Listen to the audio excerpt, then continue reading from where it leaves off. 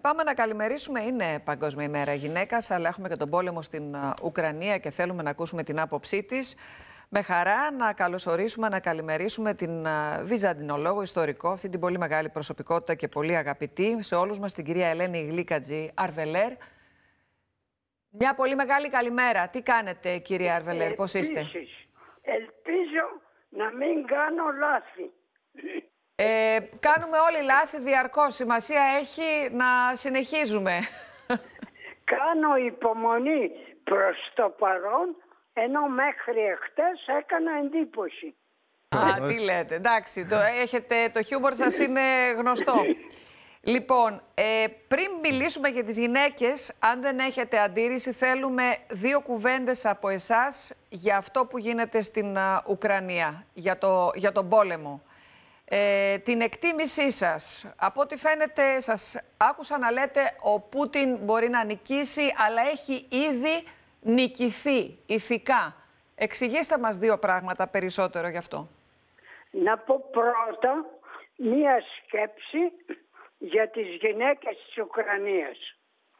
Για αυτό που υποφέρουν, αλλά να μην ξεχνάμε και τις μάνες των Ρώσων στρατιωτών που κατέβαιναν εκεί λόγω ενός τρελού ηγέτη θα έλεγα. Λέω ότι αυτή η παγκόσμια αλληλεγγύη που έχει γίνει πραγματικότητα λόγω της εγκληματικότητας θα έλεγα του Πούτιν είναι ίσως το μόνο καλό που βγαίνει από αυτή την τραγική ιστορία. Αλλά ας πούμε σήμερα για τις γυναίκες και όχι για πόλεμο. Μολονότι πάντα οι γυναίκες πληρώνουν τον πόλεμο άσχετα αν δεν έχουν τα όπλα μαζί τους. Από την αρχαιότητα ήταν λίγο υποτίμηση να είσαι γυναίκα. Ο, λέγεται ότι ο Θαλής είπε «Ευχαριστώ Θεέ μου που με έκανες άνθρωπο και όχι ζώο, που με έκανες να γεννηθώ Έλληνας και όχι βάρβαρος, αλλά επίσης που με έκανες άντρα και όχι γυναίκα. Άλλωστε, όλος ο αρχαίος πολιτισμός, να το πούμε απλά, είναι πολιτισμός από μία λέση ανδρών αν θυμηθείτε ποια είναι η θέση της γυναίκας στην αρχαιότητα, θα δείτε ότι οι δολοφόνοι είναι γυναίκες. Η Μύδια σκοτώνει τα παιδιά της.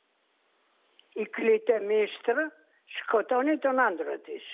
Η Αγάβη, χωρίς να το ξέρει, σκοτώνει το γιο της. Έπρεπε να περάσουν χρόνια για να θυμηθούμε ότι ίσως η Ξανθήπη κατάφερνε να ξυλοφορτώσει τον Σοκράτη, Αν, αν δεν έφερνε καμιά δραχμή θα έλεγα στο σπίτι. Οπωσδήποτε τα πράγματα δεν γίνανε καλύτερα και με τη χριστιανοσύνη. Αν σκεφτείτε ότι στην Αγία Τριάδα δεν έχουμε κανένα πρόσωπο θηλυκό. Κανένα. Όλοι Πατήρ, Υιός, Άγιο Πνεύμα, η Παναγιά και αυτή δεν ανεβαίνει κατά την Ορθόδοξη αν θέλετε πίστη στον ουρανό. Στον ουρανό φέρνει ο Χριστός μόνο την ψυχή της Παναγιάς. Αλλά ας έρθουμε στα νεότερα καλύτερα. Πάρα πολλά πράγματα, κυρία Αρβελέρ, έχουν κατακτηθεί, αλλά φτάνουμε σήμερα σε μία ημέρα και μετά από δυόμιση χρόνια περίπου πανδημίας και έξαρσης ε, δολοφονιών και βίας κατά των γυναικών να αναρωτιόμαστε τελικά πόση πρόοδο έχουμε κάνει και πόσα πράγματα πρέπει να γίνουν ακόμη. Το μόνο ότι υπάρχει σήμερα η μέρα της γυναίκας. Έτσι, σωστά. Και, ότι μπορεί να γράφεται η ιστορία της γυναίκας, ποιος θα σκεφτεί ποτέ να γράψει την ιστορία των ανδρών. Ποιος θα σκεφτεί ποτέ να κάνει μία μέρα προς τιμή των ανδρών, εφόσον έχουν όλο το χρόνο δικό τους. Αλλά να πούμε αυτό που λέγανε οι Γαλλίδες την εποχή της Επανάστασης. Αν μια γυναίκα λέει έχει το δικαίωμα να ανεβαίνει στο ικρίωμα πρέπει να έχει το δικαίωμα να ανεβαίνει και στο βήμα. Το κατάφερε ίσως αυτό το δικαίωμα αλλά δεν έπαψε ακόμα ο κόσμος και όχι μόνο στα μέρη τα υπανάπτυκτα αλλά και στην Ευρώπη να θεωρεί ότι είναι προνόμιο να έχεις γεννηθεί άνδρας και σχεδόν κατάρα να έχεις γεννηθεί γυναίκα. Άλλωστε, να μην ξεχνάμε ότι και οι μάνες σήμερα δίνουν τον ιδιωτικό χώρο στις κοπέλες, τα κορίτσια, δίνοντάς του την κούκλα για να παίξουν και δίνουν τον δημόσιο χώρο στους άντρες.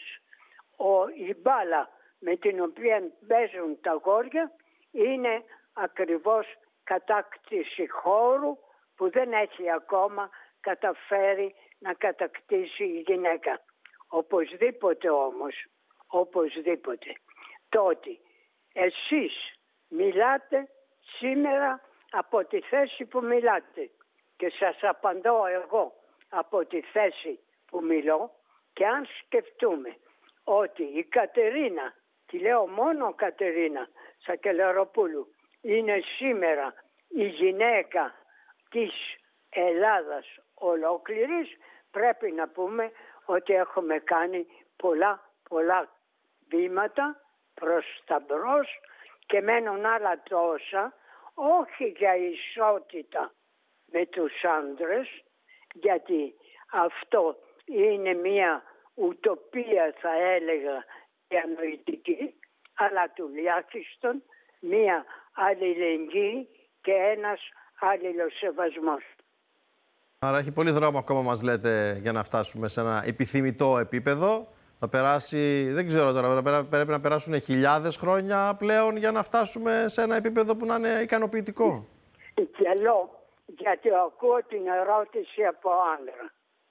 Μην ξεχνάτε ότι λέμε ακόμα σήμερα ότι η έρευνα και η επιστήμη έχουν λέει γάμπες τριχωτές για να πούνε ακριβώς ότι τα ενία για την πρόοδο της επιστήμης είναι ακόμα ανδρικά. Όσον αφορά τώρα τον πόσο χρόνο θα έχουμε, όχι είπα για την εσότητα, αλλά τουλάχιστον για τον αλληλοσεβασμό, ας θυμηθούμε μόνο ότι δεν μπορεί να γίνει κάτι χωρίς ποσοστιώσεις.